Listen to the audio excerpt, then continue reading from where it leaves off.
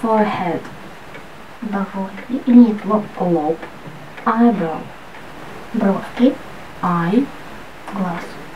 Check. Щека. Да? Всегда веселые глаза и пухлые щеки. Именно такой Лиза любила позировать для семейного альбома.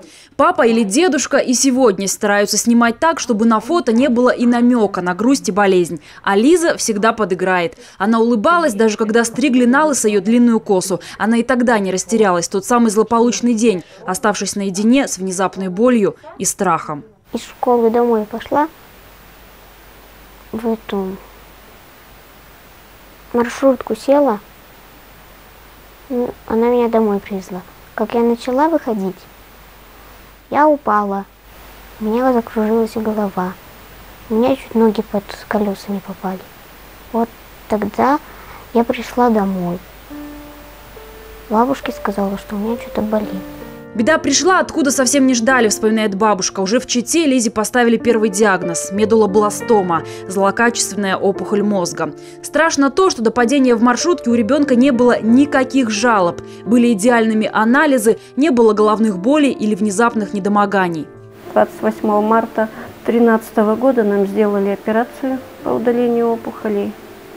Мы прошли лучевую терапию, мы проходили где-то месяца три.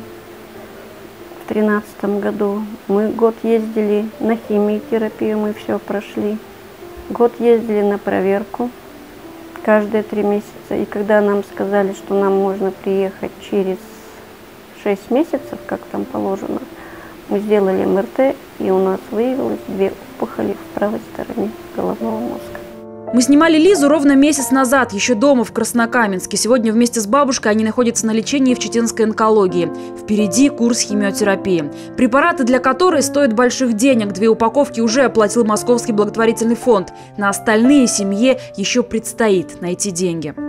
Нам только пчелка Майя помогает.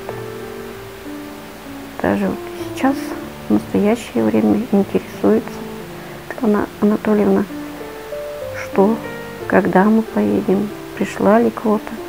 Мой сын разошелся с женой своей и забрал детей. Лишили ее материнства.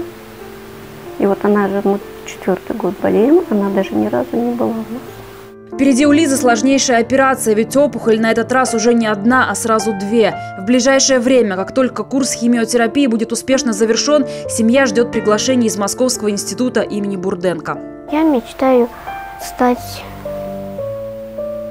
медсестрой. Потому что я лечилась, когда мне ставили уколы. И, и я плакала. А медсестры говорили, что мы не, не на зло это все делаем. Это наша работа. Вот я тоже хочу помогать детям. Дарья Пьяникова, Юрий Житлухин. Специально для проекта «Я помогу».